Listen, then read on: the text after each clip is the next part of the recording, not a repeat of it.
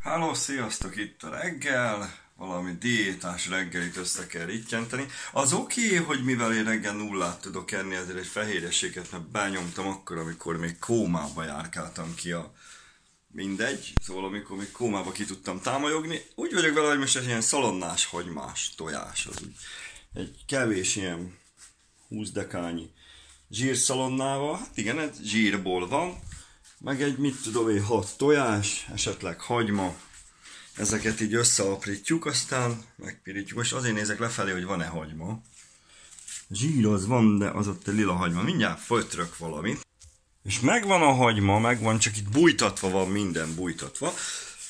Szóval ezt is össze, meg kell pucolni, ezt összeaprítani. De mivel a szalonna itt a aminek idő kell, ezért az így fölaprítva így fogod egy tefában.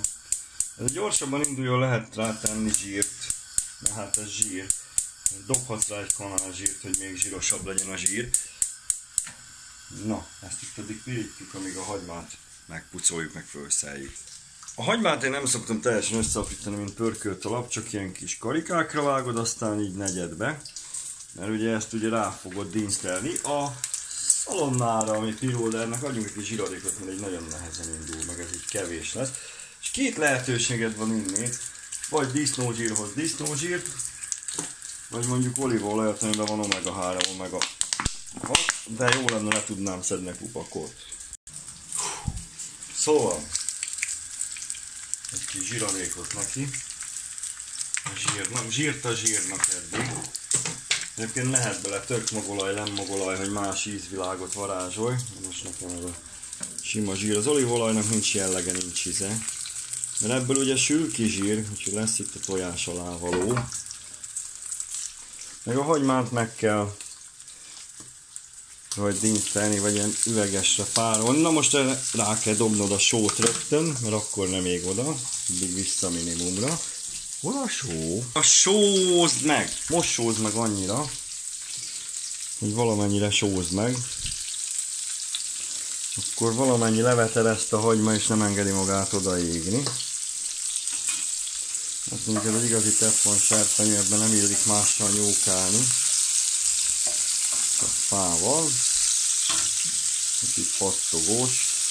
Nem tudom, lehet, hogy még hagymát még elbírna.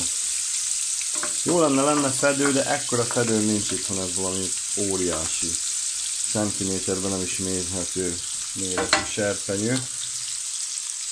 No, a tojáshoz meg aztán semmi liszt, mert ugye a liszt a tilos, a gabona a tilos, mert az a méregatóhoz, meg aztán mindegy, hogy milyen liszt, fehér, kék, zöld, graham, tököm teljes kiörlésű, vagy fehér rozsliszt, mindegyik ugyanúgy szar, mérgező, fölösleges gabona, még a zabliszt, rizsliszt, minden, minden nem jó. Szóval a tojás, az csak tojás, azt összecsapatjuk, aztán ráöntjük, csak ezt még egy kicsit pirítjuk. Na, amíg tojás az addig ezt itt megállítjuk, csiribá. Szóval só meg tojás van ebbe. Majdnem kihagytam, hogy ezt így össze kell lögybőni.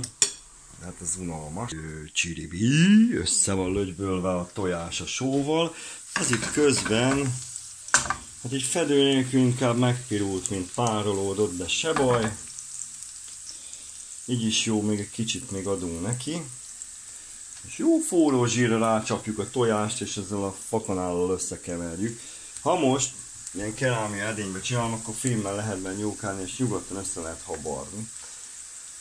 Ugye, sülés közben nagyon gyorsan hadonászol benne valami habverővel, vagy villával, és akkor az habar tojás lesz, de most ez engem nagyon nem vonz, hogy minél több legyen térfogat egységre, hanem hogy minél többet be tudjak vinni a szervezetbe. Mert ugye diétázunk, úgyhogy zabálhatunk, mint az állat, csak gabonaféléket, nem? Mert az méreg, mert ugye ne egyéb port, ezt már rengetegszer elmondtam, se fehér liszt port ne egyél, se Graham liszt port, se teljes kérles, se rozsliszt port, se zabliszt port, se rizsliszt port, ugye semmilyen port ne egy a porok egészségtelenek. Lisztek és származékaik, zsemlék, kiflik, ez mind méreg.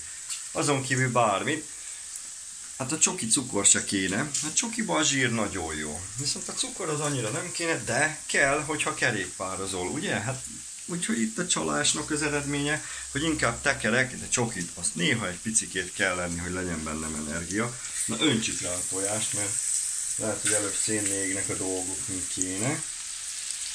Mm, de finom. És akkor most ezt így össze kell keverni ezzel a hapanával, amihez kell mind a két kezem.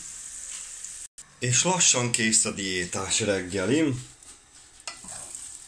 Néha így szétszaggatom, hogy nyers részt folyjon oda, vagy forgassunk meg részeket. Teljesen mindegy, hogy néz ki, mert ha megesszük, akkor tudjuk, hogy hogy néz ki. Minden ugyanúgy. És az így nem lenne elég, akkor nyugodtan egy befőttes üveg uborkát, vagy 10 kígyó uborkát is megehetsz hozzá, esetleg paradicsomot is kilószám. Szóval bármit, sajtot, megihatsz rá tejet, ami elméletileg nem nekünk való, ugye, mert nem a mi tejünk, de attól függetlenül még akár azt is. És kész. Úgyhogy jó étvágyat kívánok, jó diétázást. Mi van ezzel? Hogy ez fején áll, vagy mi? Na, csúmi, iratkozzatok föl. Hello!